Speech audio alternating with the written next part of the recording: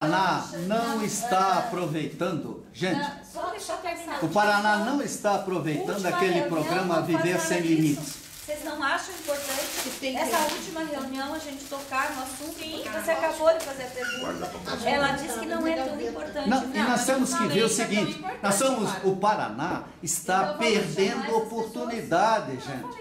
A Gleice é chefe de gabinete, Não, não, acho que ela foi ideia de criar o programa. Só um pouquinho. Olha, Então, isso que você está colocando é trazer alguém na terapia ocupacional para colocar Não, o que eu disse foi o seguinte, vocês estão falando de, De software, de tecnologia, só que assim, tecnologia assistiva não é só o software, foi isso que eu quis dizer. Sim, Tem tecnologias assistivas De muito custo. mais baratas, por exemplo, é um Terapia feltro que você cola entre uma Temos folha e outra que permite que a falar. criança troque a página do livro, que Isso. nem isso é feito, que nem custa tão caro. Foi tem mais uma coisa. fórum se tornar atrativo, nós temos que ter um começo, meio e fim, senão. É, tá, então olha só, o Disses, como é que ficou? Não, ple- plebiscito é o próximo ponto, né? Isso, é, o DICES ficou a data, 21 de setembro de 2013, no Parque Barigui. A gente vai ter um intérprete de Libras, uma camiseta, banner e os folders. Certo. Você sabe, né?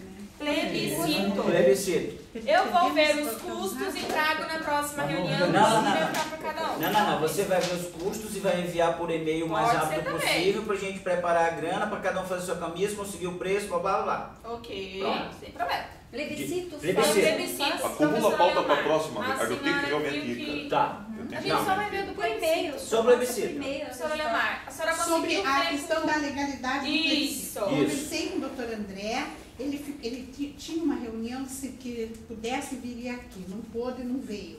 Eu estou achando que com essa questão da assessoria jurídica, sabe aquela história que santo de casa não faz milagre?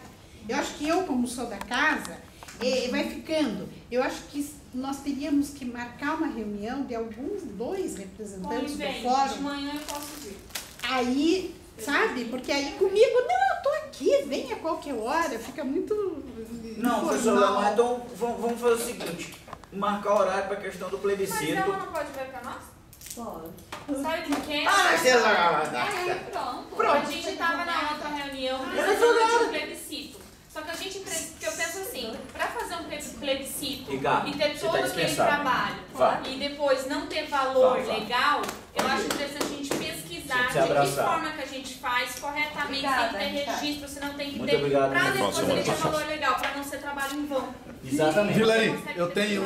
Tudo bom.